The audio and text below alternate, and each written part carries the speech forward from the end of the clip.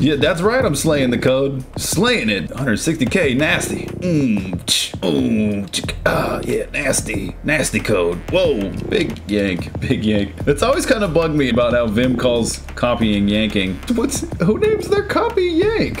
it's like Mastodon calling their tweeting tooting. Who names their tweets toots? Yank is copy. Oh, whatever. Oh, don't actually type that. What? Don't even ever think I would type that. Yank it. Don't ever type it when you can yank it. Oh, yeah, that should be a meme. Don't type it when you can yank it. Oh my god. All the Vimmers in the world will be like, yes, Right. I'm never gonna type again if I can yank. I wanna yank all day long if I instead of typing. Awesome. One of the ten Vim commandments? Thou shalt not type if thou canst yank. Write that down. Put it on your wall. Every morning you need to look at that and say, Am I am I typing or yanking? Definitely yanking. I shall yanketh all thy caneth today. Code.shazam. Are we gonna turn into like Black Adam if this happens or something? Could be wrong, but probably not, because I'm so pro.